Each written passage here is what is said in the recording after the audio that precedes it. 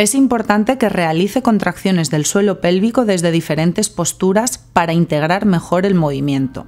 Desde una posición de cuadrupedia, sobre un balón de bobat, abrazándolo, con caderas en flexión de 90 grados, vamos a realizar una contracción del suelo pélvico.